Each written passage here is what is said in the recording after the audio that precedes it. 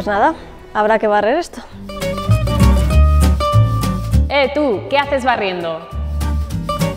Si todavía no tienes un aspirador y estás esperando a que te caiga del cielo,